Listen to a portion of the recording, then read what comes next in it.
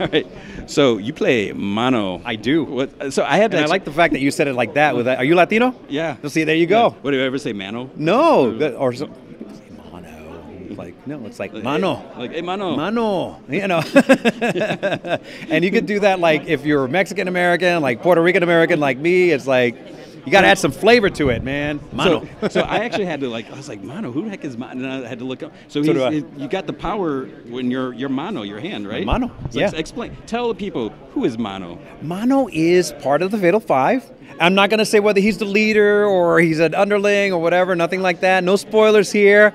But uh, yes, he he is. Um, he derives his power, he draws his power through this very powerful hand that has the power to manipulate and destroy and disintegrate things on contact and, and things like that, deliver energy blasts. And so I had to do some research. I had to do because as, as much as an astute student I, I am of, of the DC universe and comic books, and I've been a huge fan, I had to do my research because I did not know a lot about him.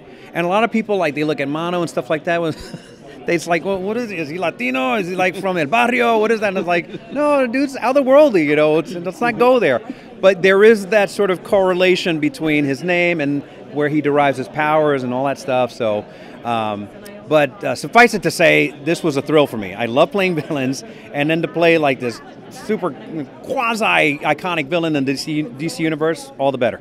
Had a real treat.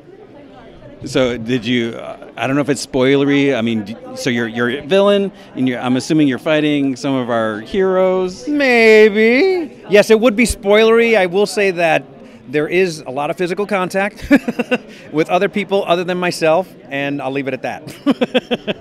So what's it like? You know, voicing the physical, like the. Uh, uh. I heard you were grabby.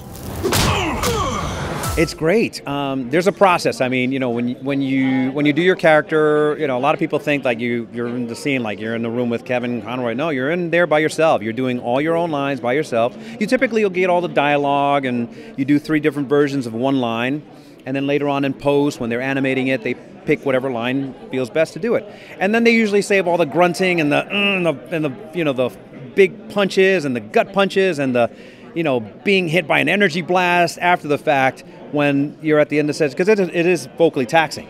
So you really have to like save that stuff for the end because after that your voice is essentially trashed, and then you need like about a couple of days to recover, and then you're back at it again a couple of days afterwards. So, but And- that's and- always fun. And you're you're such a professional that you don't feel awkward or anything. To, uh, uh.